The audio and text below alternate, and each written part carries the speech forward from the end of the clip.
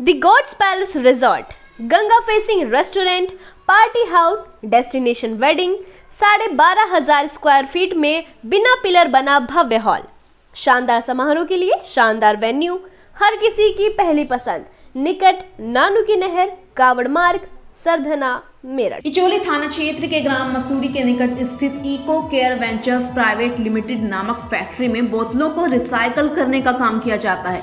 Factory में गाँव महल निवासी 17 साल का निखिल भी काम करता था। गुरुवार को निखिल जब काम पर पहुँचा तो किसी वजह से मशीन में फंस गया, जिससे उसकी मौके पर ही मौत हो गई।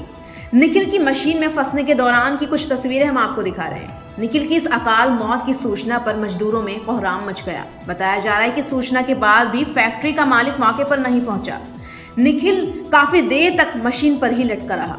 मौके पर इंचोली थाना पुलिस तथा लावड़ चौकी पुलिस पहुँची और मामले की जाँच में जुट गई। देखिए आईपीएस केशव कुमार ने इस बारे में क्या कहा। सर एक व्यक्ति की मशीन में फंसकर मौत हुई है। क्या किस कंपनी की मशीन थी और क्या था पूरा घटना?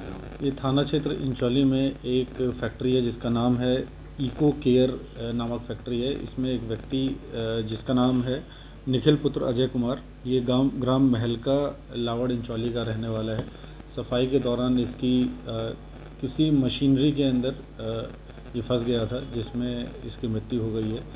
इसके पंचायतनामा और पीएम की कार्रवाई की जा रही है और जो भी नियमानुसार वैधानिक कार्रवाई होगी वो की जा रही है। अभी के लिए इतना ही। हमारी वीडियोस को ज़्यादा से ज़्यादा लाइक करें शेयर करें और फ़र्स्ट बाइट टीवी को सब्सक्राइब करना ना भूलें। वेलेंटिस, यहाँ कैंसर को मात देने में पूर्णतः सक्षम रेजिडेंट टोमोथेरेपी मशीन से इलाज किया जाता है। टोमोथेरेपी कैंसर रोगियों के लिए किसी वरदान से कम नहीं। कैंसर मरीजों के लिए समर्पित उत्तरी भारत का एकमात्र hospital, Valentis, Mawana road, Mussoorie, Meerut.